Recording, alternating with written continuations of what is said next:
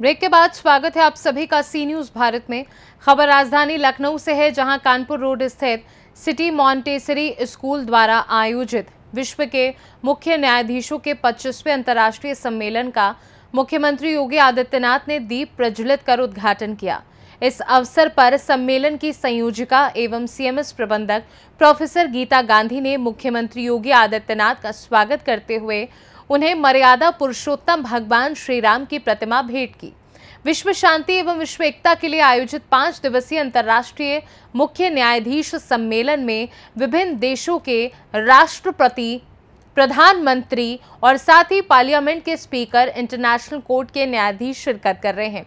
सम्मेलन में छप्पन देशों से 200 से अधिक न्याय विधि एवं कानूनविद भाग ले रहे हैं। सम्मेलन में डिप्टी सीएम ब्रजेश पाठक ने भी शिरकत की। आइए देखते हैं हमारे संवाददाता उमेश विश्वकर्मा की ये खास रिपोर्ट। कानपुर रोड स्थित सिटी मॉन्टेसरी स्कूल के ऑडिटोरियम में आयोजित अंतर्राष्ट्रीय मुख्य न्यायाधीश सम्मेलन में विश्व शांति एवं विश्व एकता की वकालत करने वाले सीएमएस के संस्थापक, स्वर्गीय डॉक्टर जगदीश गांधी के चित्र पर मुख्यमंत्री योगी आदित्यनाथ ने श्रद्धा सुमन अर्पित कर किया। तत्पश्चात दीप प्रज्वलित कर कार्यक्रम का शुभारंभ किया गया। मौके पर सीएमएस की प्रोफेसर गीता गांधी किंगडन ने विदेश से आए मेहमानों के साथ मुख्यमंत्री योगी आदित्यनाथ का जोरदार ढंग से स्वागत किया और उन्हें मर्यादा पुरुषोत्तम भगवान श्री राम की प्रतिमा भेंट की। इस अवसर पर कई मनमोहक सामूहिक नृत्य पेश कर स्कूल के बच्चों ने स्वर्गीय डॉक्टर जगदीश गांधी को श्रद्धा सुमन अर्पित किए। विश्व एकता एवं विश्व शांति हेतु स्वर्गीय डॉक्टर जगदीश गांधी के प्रयासों एवं उनके व्यक्तित्व पर चर्चा भी हुई। मौके पर 25वें सम्मेलन में डॉक्टर जगदीश गांधी की कमी भी सभी को महसूस हुई, जिसकी चर्चा मुख्यमंत्री योगी आदित्यनाथ ने अपने संबोधन में कही। इस अवसर पर डॉक्टर जगदीश गांधी के उस संदेश का वीडियो भी दिखाया गया जिसमें उन्होंने पूरी दुनिया से आपसी भाईचारा विश्व एकता विश्व शांति एवं सुरक्षा की बात कही थी।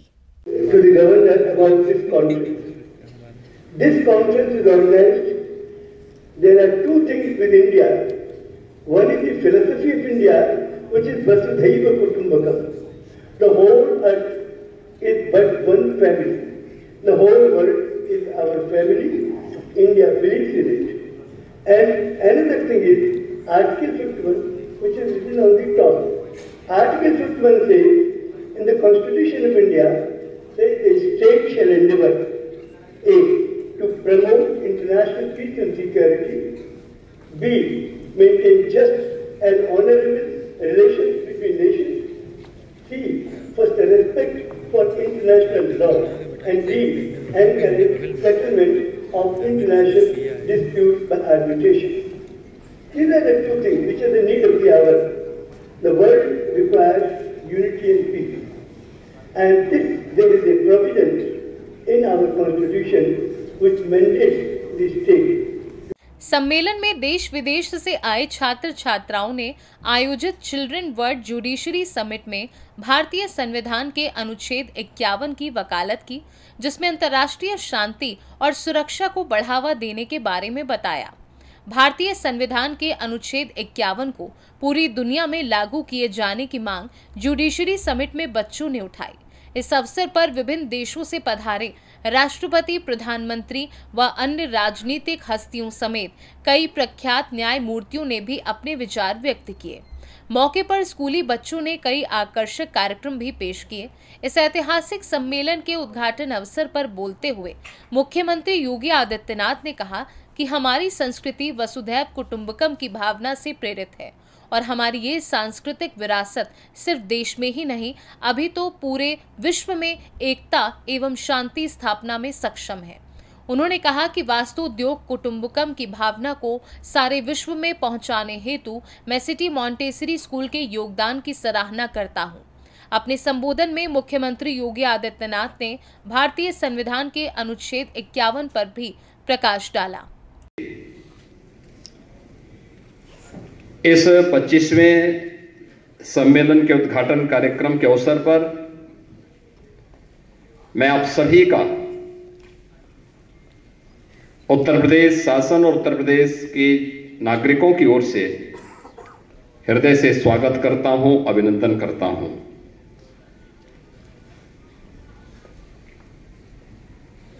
यह सम्मेलन ऐसे समय में आयोजित हो रहा है जब भारत का संविधान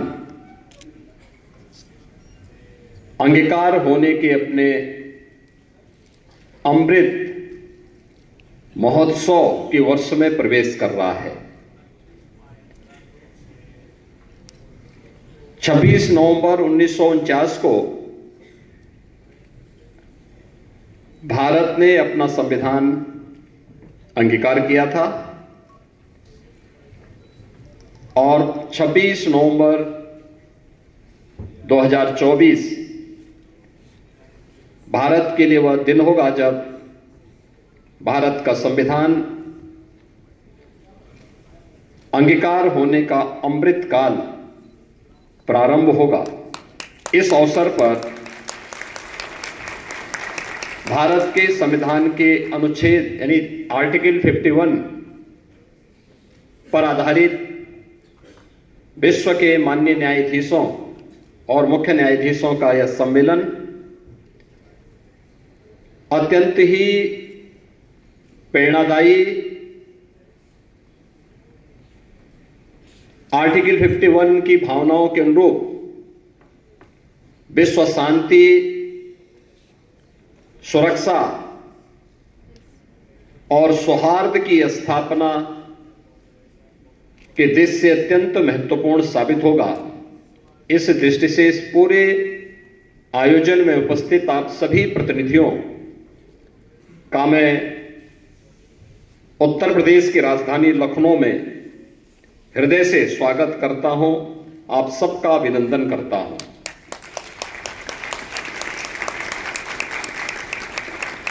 इस सम्मेलन में आप सभी माननीय अतिथियों को बहुत सारे अतिथि ऐसे होंगे जिनको कई बार इस सम्मेलन में आने का अवसर प्राप्त होगा। और एक कमी ज़रूर आपको नज़र आ रही होगी कि सीएमएस के संस्थापक और आज से 25 वर्ष पहले जिनके नेतृत्व में और जिनके मार्गदर्शन में यह सम्मेलन लखनऊ में प्रारंभ हुआ था। आज वे भौतिक दृष्टि हमारे बीच में नहीं है। श्री जगदीश गांधी जी, जिनका भी कुछ देर पहले यहाँ पर इस सभागार में स्मरण किया गया, मैं इस अवसर पर उन्हें भी विनम्र श्रद्धांजलि अर्पित करता हूँ।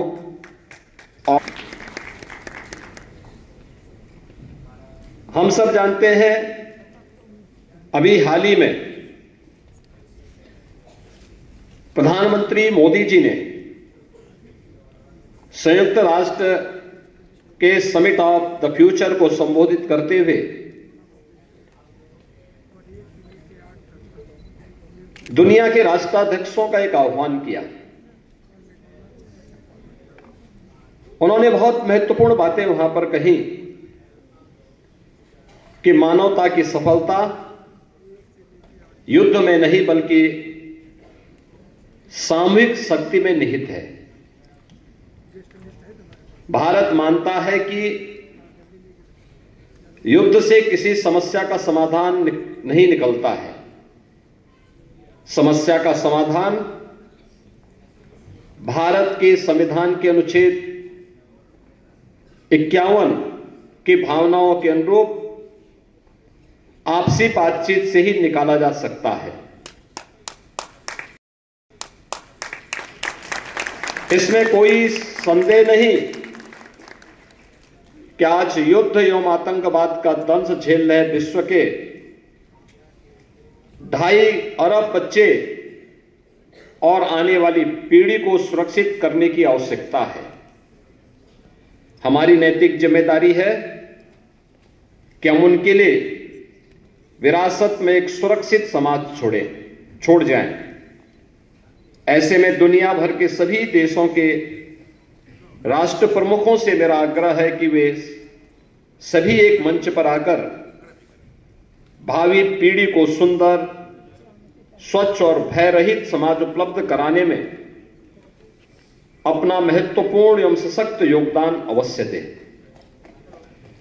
प्रधानमंत्री मोदी जी का यह वक्तव्य संयुक्त राष्ट्र संघ के समिट ऑफ़ द फ्यूचर को फ्यूचर में एक अत्यंत ही मार्मिक और विश्व शांति की दृष्टि से मील का पत्थर साबित होने वाला वक्तव्य है। और आज जब यहाँ पर दुनिया भर के प्रतिनिधि उन भावनाओं के प्रति आग्रही बनकर के जब इस समिट का हिस्सा बन रहे हैं, उन स्थितियों में मुझे आप सबको भारत के संविधान की आर्टिकल 51 की उन भावनाओं की ओर भी ध्यान आकर्षित अवश्य करना है। जो भारत के संविधान निर्माताओं ने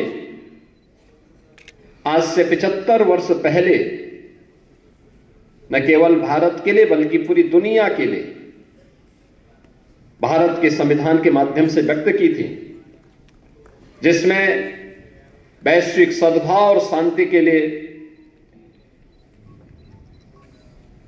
विश्व कल्याण में सकारात्मक योगदान देने की दिशा से भारत की वे भावनाएँ निहित हैं। हम सब जानते हैं कि भारत आज से नहीं हज़ारों वर्षों से भारत का भाव रहा है। वह भाव जो आज भी भारत के अंदर या विश्व मानवता के सामने जब भी संकट आया,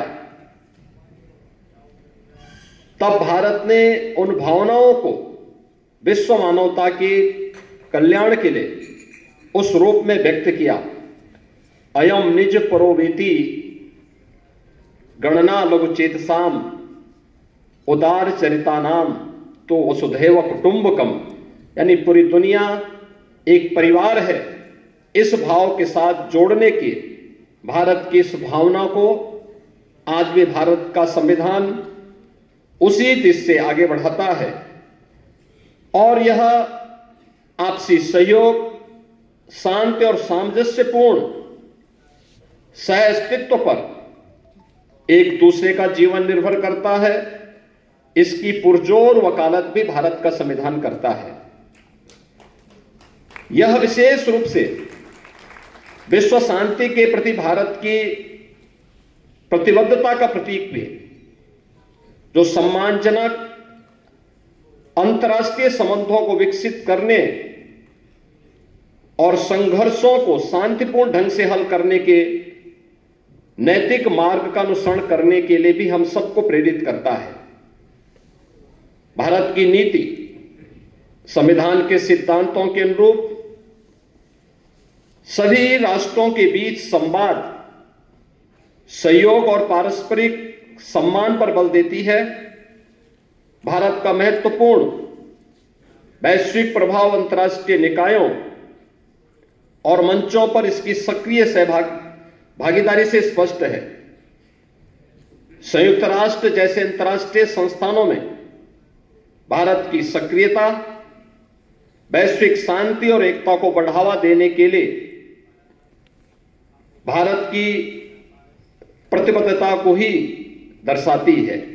इस अवसर पर सिटी मॉन्टेसरी स्कूल की प्रबंधक प्रोफेसर गीता गांधी किंगडन ने सभी गणमान्य अतिथियों का स्वागत करते हुए कहा कि एक आदर्श विश्व व्यवस्था, अंतर्राष्ट्रीय प्रभावशाली कानून व्यवस्था एवं बच्चों के अधिकारों व उनके सुख में भविष्य हेतु विभिन्न देशों के न्यायाधीशों एवं कानून विदों का आगे आना एक अहम कदम है।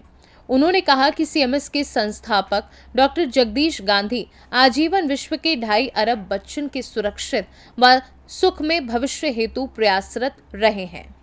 स्कूल द्वारा आयोजित विश्व के मुख्य न्यायाधीशों का 25वां अंतर्राष्ट्रीय सम्मेलन है। चौबीस साल से पहले हो रहा था। मेरे पूज्य पिताजी डॉक्टर जगदीश गांधी इसके संयोजक थे, आयोजक थे और ये आ, हमारे संविधान का जो अनुच्छेद इक्यावन सी है जिसमें लिखा है कि आ, हमारे देश के और देशों से किस तरीके के संबंध रहेंगे उसके ये हमारी थीम होती है इस कॉन्फ्रेंस की। और इस सम्मेलन में छप्पन देशों के 160 से अधिक मुख्य न्यायाधीश और न्यायाधीश आए हैं। और कुछ राज्य राज्याध्यक्ष भी आए हैं जैसे प्राइम मिनिस्टर्स या former prime ministers presidents and former कितने दिन तक ये कॉन्फ्रेंस चलती है?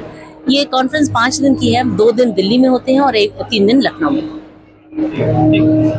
फ़िलहाल के लिए खास रिपोर्ट में बस इतना ही। देश दुनिया की बाकी खबरों को जानने के लिए आप देखते रहिए सी न्यूज़ भारत।